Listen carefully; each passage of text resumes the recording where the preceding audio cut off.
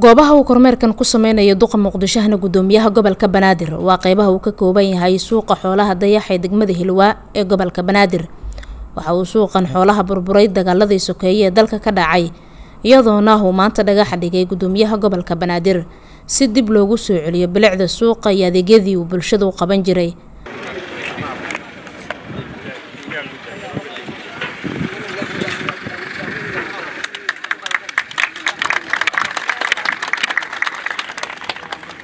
dhagaxdhiga kadib waxaa warbaahinta la hadlay agaasimaha suuqyada gobolka banaadir maxamed dhicisow waxa uu xuseen meel gabagaba ah ay mareyso dib u dayactirka kawaanka hilibka ee xamarweyne.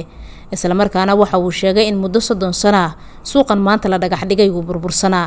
Wax hore loo dhisay oo shaqadiisa ay gebagaba tahay dayactirka suuqii kawaankii xamarweyne oo soddon sano aan la dhisin. Waxaa sidoo kale aasaas laga biloobay oo dhismihiis uu socdaa suuqii kaaraan maantay degmada hiliwaa waxay leedahay afar suuq. Afarta suuq waxaa weeye waxay kale yihiin waa suuqii daryeel oo laamiga ku ooli jiray balcad. Bandar wadaag oo ah suuqa hiliwaa waxara cad oo ah maxaanku idhaha suuq oo kawaankiisii ay burbursan yihiin. Suuqa afaraad oo ah kii dayaxee xoolaha loogu talagalay.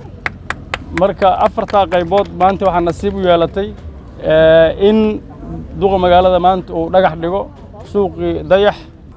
Cumar maxamuud maxamed filish gudoomiyaha gobolka banaadir ahna duqa caasimadda ayaa sheegay in shacabka ku dhaqan hilwaa looga baahan yahay ka shaqaynta nadaafadda suuqa iyo horumarkiisa maadaama dadka isticmaali doona ay u badan yihiin buu yiri dadka ku nool hilwaa iyo gubadley bulshada soomaaliyeed gaar ahaan kuwa ku nool hiliwaa iyo gubadley ayaa ka faa'iidaysan doona hergelidda iyo hanaqaadka suuqa. Mar hadday fursad fadhigooda ugu timid ay tahay waxaan rajaynayaa inay kala dagaalami karaan inay kala dagaalami doonaan cid kasta oo ay u arkaan inay dayac iyo dib u dumid ku keenayso suuqa dhinaca kale isagoo hadalkiisi sii wato waxa uu sidoo kale maamulka gobolka banaadir xusay in gudoomiyaha degmada hilwaaye hay'adaha amniga looga baahan yahay sugidda amniga suuqa. Mar kale shacabka ayuu ugu baaqay inaan la cereerin waddooyinka laga bixin doona halkan. Bulshada waxaa laga codsanayaa jidadka ay bixiso dowladda hoose ee suuqa laga bixinayo iyo dhammaan goobaha loo calaameeyey qayb kasta oo suuqa inaan lagu soo durqin oo aan la ciriirin